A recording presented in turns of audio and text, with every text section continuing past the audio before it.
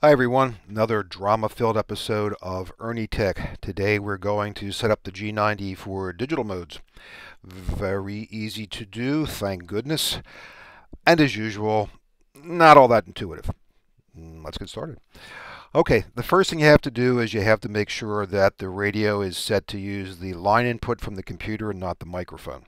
And I think that's where a lot of people get confused at first when they begin to uh, use this radio. To do that, it's pretty straightforward. All you have to do is press the funk button, turn on the funk light. I love the funk light. Hit the PAL button once, and then just hit it again until you see input. Use your tuning knob to go from mic to line. Press the tuning knob once, and that's it. So now you are working from the computer. I have the XGG Comms Digimode 4 from Steve over in the UK. Uh, it's a great interface, very easy to use.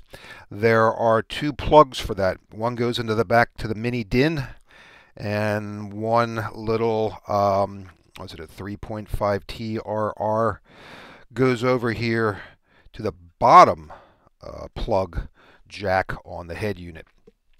Don't plug it into the top one because it won't do anything.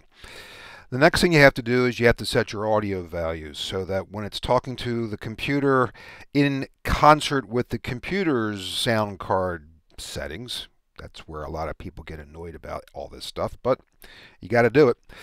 What you do is you press the funk button a little longer than usual and it goes into the menu mode. Use the fat finger and go to menu number 5 to start off with.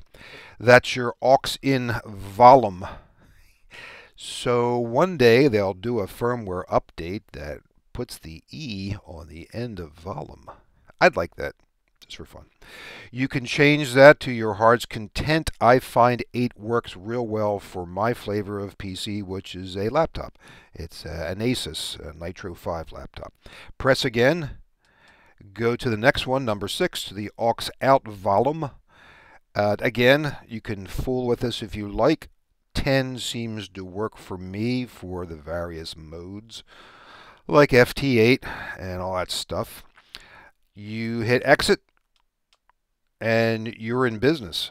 So now it's set up to talk to the computer, not to the microphone. The other things I've done is I've turned off the AGC, I've turned off preamp, attenuator, compressor, which I believe only works with a microphone anyway, uh, noise blanker, and so on. Um, it works. It works for me. It may be better to have it set up differently for you. Yeah, have to fool with that stuff. Okay. That's it. That is the sum total in less than four minutes about how to get the G90 to talk to your computer and the things that you have to do.